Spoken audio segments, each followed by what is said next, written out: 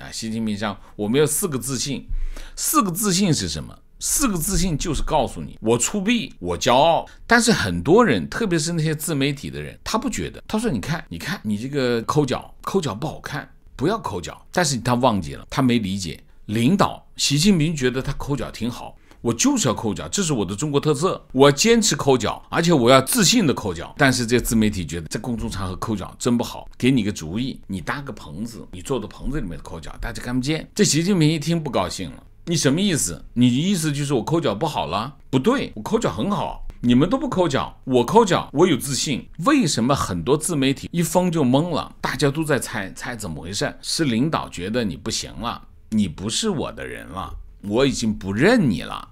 这件事情啊，跟中共的统治方式有关系。他就非常坚定地认为，我抠不抠脚不会影响我的政权，我就爱抠脚，我就觉得抠脚挺好。